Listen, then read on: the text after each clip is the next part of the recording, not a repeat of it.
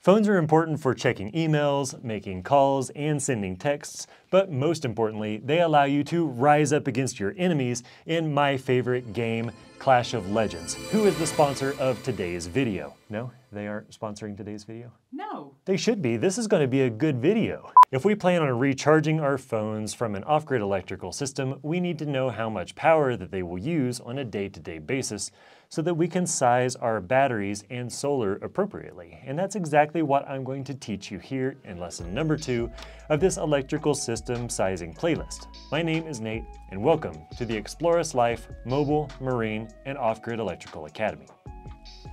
Now the methods for estimating power usage that I'm going to teach you today will work for many other devices like Bluetooth speakers, drones, cameras, and essentially anything else that has a battery in it and is powered by USB. So if you keep an open mind and think critically, you'll be able to apply this information to your own specific project. Last thing before we get started, I put some important information about this academy, some additional resources, and some prerequisite information related to this video down in the pinned comment below, so be sure to scroll down and check it out.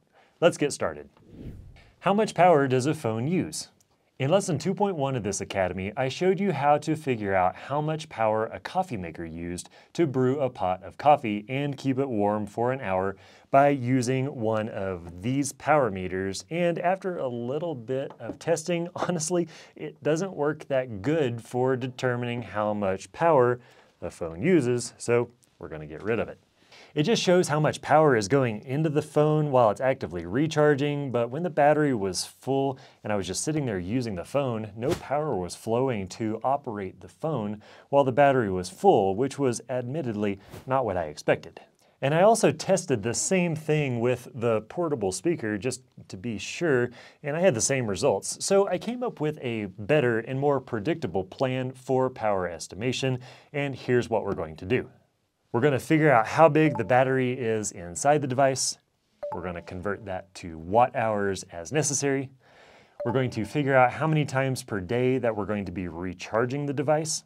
And then we're going to multiply the device's battery size times the number of times that we recharge the battery per day. That's the plan, and here's how it looks in real life. Now I have an iPhone 15 Pro, who is the sponsor of today's video. Nothing still? Nope.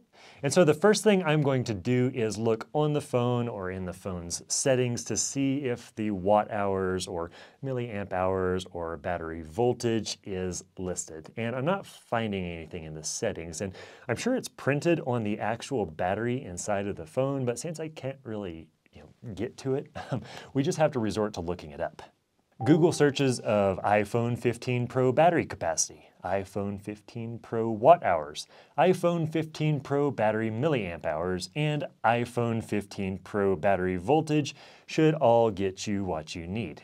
Ideally, you'll be able to find a source that tells you how many watt hours the battery has in it, and if that's the case, we are finished, and we have our answer.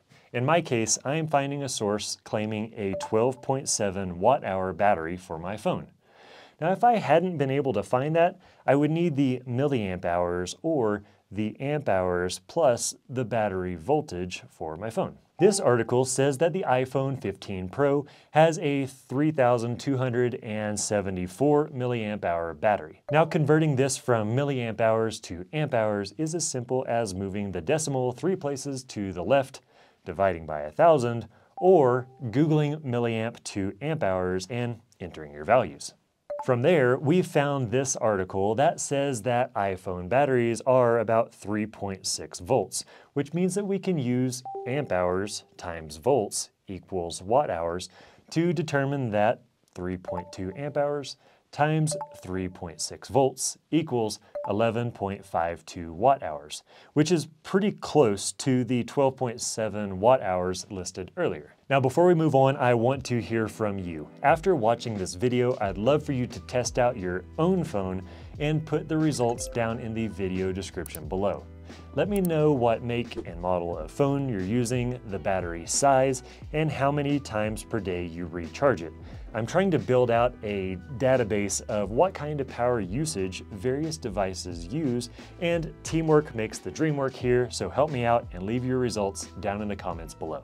How many times is a phone charged per day? Now that we know that our phone battery has 12.7 watt hours inside of it, we just need to know how many times per day we're going to recharge it.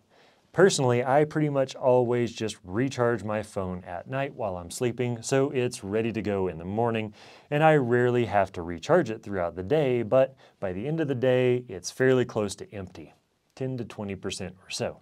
For easy math, I'm just going to say that I use the full battery every day, which means that I use 12.7 watt hours every day to keep my phone operational.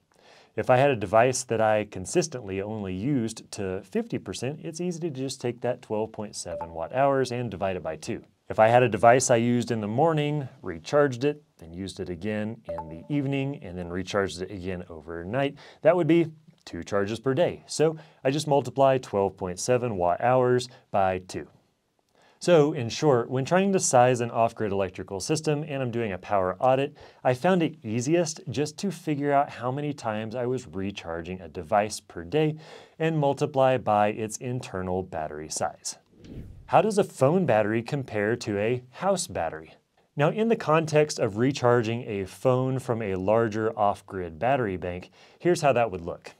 12.7 watt hours pulled from a 12 volt battery bank would be a loss of 1.06 amp hours or 1.06% being drawn from a 100 amp hour battery per charging cycle of the phone, not counting any kind of inverter efficiency losses.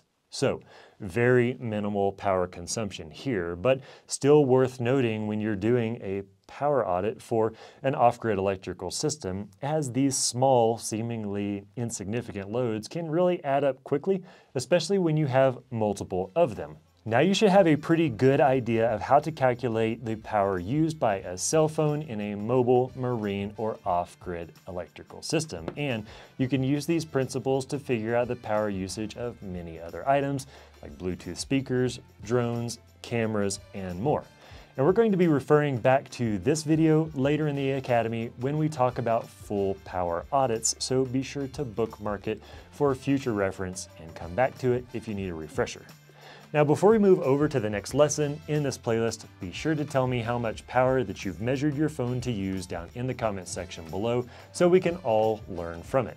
Now in the next lesson, I'm going to teach you how to determine the power required for a desktop or laptop computer for those of you working remotely. So click up here to watch and I'll see you over there.